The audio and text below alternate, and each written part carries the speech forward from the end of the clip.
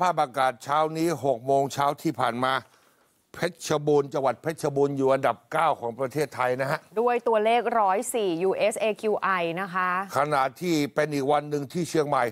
ติด top 10 ของโลก วันนี้ top 5 ด้วยค่ะ ตอน 6 โมงอยู่อันดับ 4 นะคะ เมืองที่มีคุณภาพอากาศแย่ที่สุดในโลกค่ะ เป็นรองเฉพาะที่แบกแดดอิรัก เดลีของอินเดีย แล้วก็ทาชเคนต์ของอุซเบกิสถาน นี่เป็นเชียงใหม่ ซึ่งก็แปลว่าวันนี้วันที่ 29 ใช่ไหมค่ะ มีติดอันดับ top five top 10 เนี่ย ตลอดทั้งเดือน 28 วัน ยกเว้นเฉพาะ 11 เมษาวันเดียว นอกนั้นทุกวันค่ะ ถ้าเกิดพรุ่งนี้ยังติด top 10 เป็นอันว่าทั้งเดือน ยกเว้นวันเดียวก็คือวันที่มีพายุฤดูร้อนเข้านั่นเองค่ะท่านผู้ชม เชียงใหม่ คุณภาพอากาศเป็นอย่างที่เห็น ขนาดที่สองอันดับแรกก็เป็นจังอ่าอันดับแรกเป็นเชียงรายนะฮะ เชียงรายตัวเมืองเช้านี้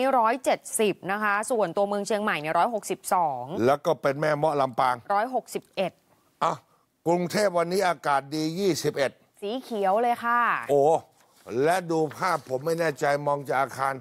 เหมือนครึ้มครึ้มๆฝนจะตกไหม ไม่แน่ใจนะ ตอนนี้เข้ามานั่งในนี้แล้วเนี่ยเอ่อ ตกลงมาเลย ตกลงมาเถอะ นี่ร้อนจนจะขอชีวิตแล้ว ร้อนมากจริงๆค่ะฮะปีนี้ร้อนมากตกลงมาเถอะท่านผู้ชม ตั้งแต่เกิดมาผมไม่เคยเห็น อาบน้ำยังเหงื่อออก เคยเป็นไหมเอออาบน้ำฟอกสบู่แป๊บหนึ่งเฮ้ยเหงื่อออก มันร้อนทารุณจริง ๆท่านผู้ชม ร้อนทารุณขนาดไหนไปดูเมื่อวานนี้เป็นยังไงน้องไบรท์ๆค่ะ อุณหภูมิเมื่อวานนี้ 28 เมษายน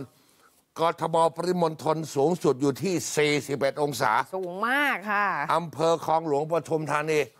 เข้าใจว่าแถวศูนย์เศรษฐกิจเขาตรวจวัดประมาณ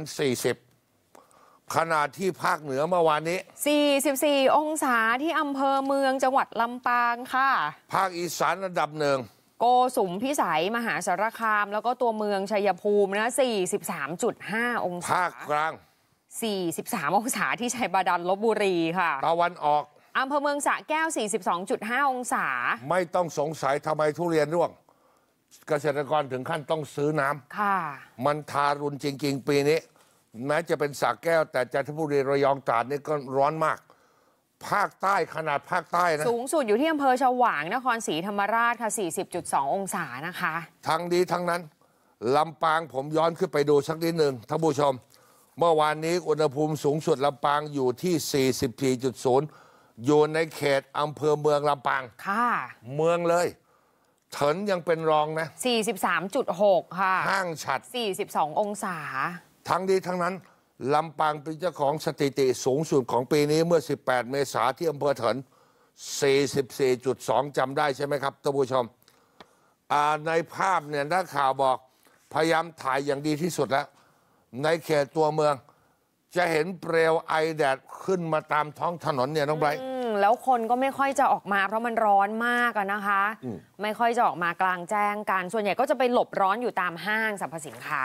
ขณะที่คาดการณ์วันนี้ 29 เมษาวันนี้ วันนี้ค่ะอ้าวดูเถอะ ฝนเท่านั้นที่จะช่วยชีวิตเรา เนี่ยคุณผู้ชมดูสิคะภาคเหนือกับภาคกลางเนี่ยสูงสุดได้ 44 องศาเลยนะคะ วันนี้ส่วนภาคอีสานกับภาคตะวันออกสูงสุดก็ได้ 43 องศาค่ะ กรุงเทพปริมณฑลวันนี้สูงสุดที่ 41 องศา ภาคใต้ 40 องศาค่ะ ท่านผู้ชม นี่ดูจะดีกว่าเมื่อวานนะ ตัวเลขคาดการณ์เมื่อวานนี้โหดกว่านี้ มีของเมื่อวานไม่เอามาเทียบดูอะไม่เป็นไรก็ยังถือว่าโหดอยู่ ถามว่าจะเป็นอย่างนี้อีกนานเท่าไหร่ อีกนานเท่าไหร่